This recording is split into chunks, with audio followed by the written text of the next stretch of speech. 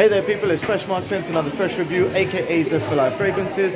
Today I'm at the John Lewis building checking out Soleil Blanc by Tom Ford.